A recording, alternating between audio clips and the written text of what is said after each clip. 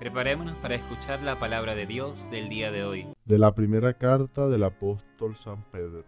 Bendito sea Dios, Padre de nuestro Señor Jesucristo, por su gran misericordia, porque al resucitar a Jesucristo de entre los muertos, nos concedió renacer a la esperanza de una vida nueva, que no puede corromperse ni mancharse, y que Él nos tiene reservada como herencia en el cielo, porque ustedes tienen fe en Dios, Él los protege con su poder, para que alcancen la salvación que les tiene preparada y que Él revelará al final de los tiempos. Por esta razón, alégrense, aun cuando ahora tengan que sufrir un poco por adversidades de toda clase a fin de que su fe, sometida a la prueba, sea hallada digna de alabanza, gloria y honor el día de la manifestación de Cristo. Porque la fe de ustedes es más preciosa que el oro, y el oro se acrisola por el fuego. A Cristo Jesús no lo han visto y sin embargo lo aman.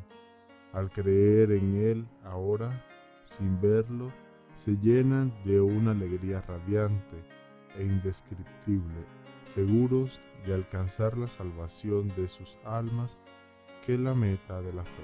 Palabra de Dios, te alabamos Señor. Que todas las naciones alaben al Señor con el salmo responsorial. El Señor se acuerda siempre de su alianza. Quiero alabar a Dios de corazón en las reuniones de los justos Grandiosas son las obras del Señor y para todo fiel dignas de estudio. El Señor se acuerda siempre de su alianza. Ha hecho inolvidables sus prodigios. El Señor es piadoso y es clemente. Acordándose siempre de su alianza, Él le da de comer al que lo teme. El Señor se acuerda siempre de su alianza. Él redimió su pueblo y estableció su alianza para siempre. Dios es santo y terrible y su gloria perdura eternamente. El Señor se acuerda siempre de su alianza. Abramos nuestro corazón al Divino Maestro, que nos habla a través del Santo Evangelio con palabras de vida eterna. Del Santo Evangelio según San Marcos. En aquel tiempo, cuando salía Jesús al camino, se le acercó corriendo un hombre se arrodilló ante él y le preguntó, Maestro bueno, ¿qué debo hacer para alcanzar la vida eterna? Jesús le contestó, ¿por qué me llamas bueno? Nadie es bueno sino solo Dios.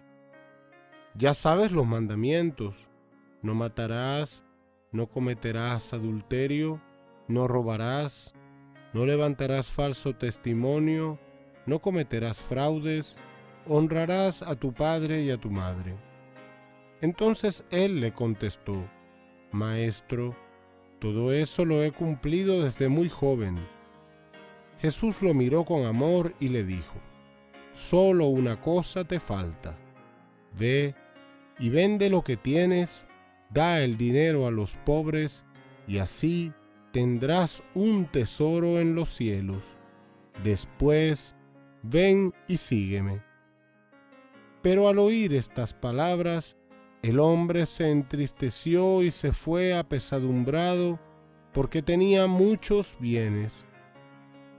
Jesús, mirando a su alrededor, dijo entonces a sus discípulos, Qué difícil les va a ser a los ricos entrar en el reino de Dios. Los discípulos quedaron sorprendidos ante estas palabras.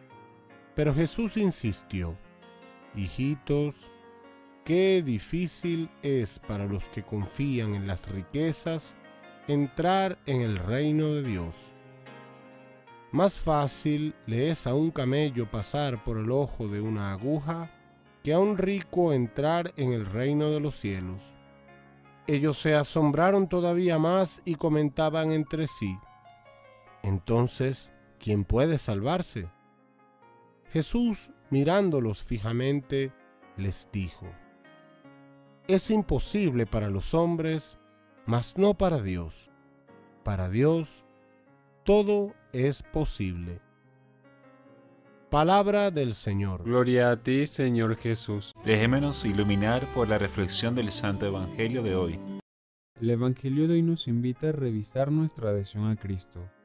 La exigencia del seguimiento de Jesucristo es grande. Se exige renuncia completa. A nosotros como bautizados se nos pide dar el paso si queremos avanzar a la vida plena, a la vida de alegría, de libertad, paz verdadera que es la vida eterna desde aquí en la tierra. Nosotros que vamos conociendo más del amor de Dios, nos corresponde por lógica ser mejores que nuestros abuelos y padres, porque el crecimiento en el camino de la vida plena así lo exige. Necesitamos hoy miradas de mucha tolerancia, de comprensión, de paciencia. Lo curioso es que sabemos las cosas de Dios pero el mundo nos atrae con su fuerza y no pasamos del montón porque nuestras respuestas son inconstantes y egoístas. Busquemos de Jesucristo y de la Virgen María y alejemos de nosotros las falsas seguridades. Pasemos a otro estadio de nuestra vida. Vende todo lo que tienes y reparte el dinero a los pobres. Después ven y sígueme. Es decir, cambia para bien tuyo y de los demás muchos antivalores. San Pablo, Venezuela, comunicando.